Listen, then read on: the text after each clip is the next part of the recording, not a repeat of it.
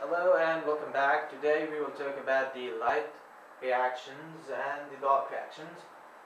The last time we talked about the light reactions and today we will talk about the dark reactions.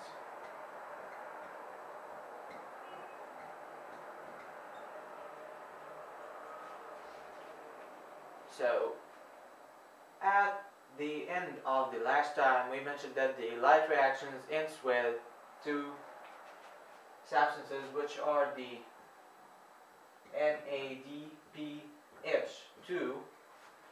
and the ATP.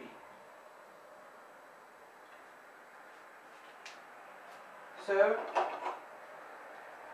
the hydrogen molecule here, carried by this hydrogen carrier NADP, nicotinamide adenine dinucleotide phosphate, it carries the hydrogen.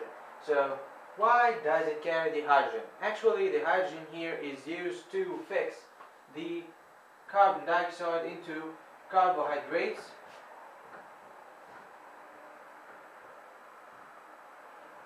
And of course by the manufacturing of the carbohydrates the plant makes its own food. So this is the role of the hydrogen here. By the help of the energy stored in the ATP molecule and that's how the carbohydrates are formed. To satisfy these results of the dark reaction, a scientist called Melvin Calvin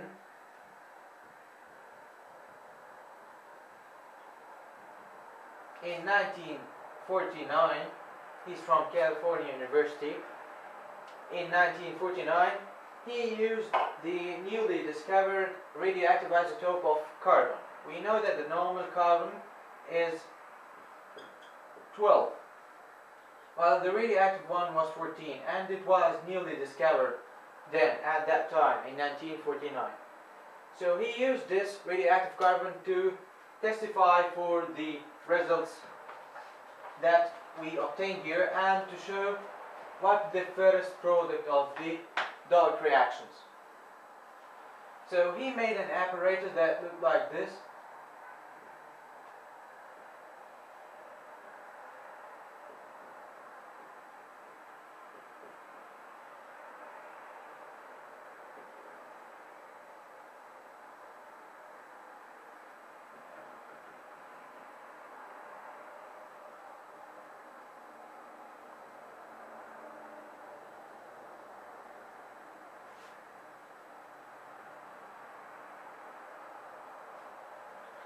So, here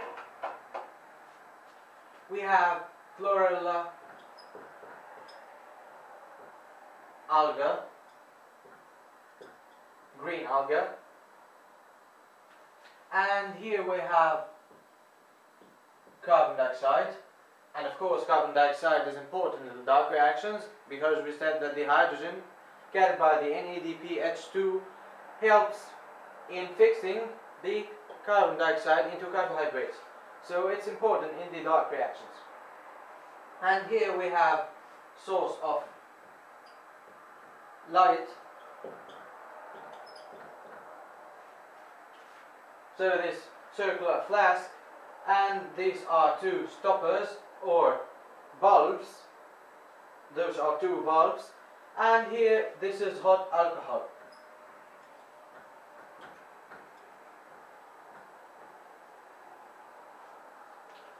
So here in the carbon dioxide he used the radioactive isotope and the carbon dioxide passes here through the connecting tube to this flask where the chlorella alga is found and this is the dimmest light that he could assure the photosynthesis will take place with.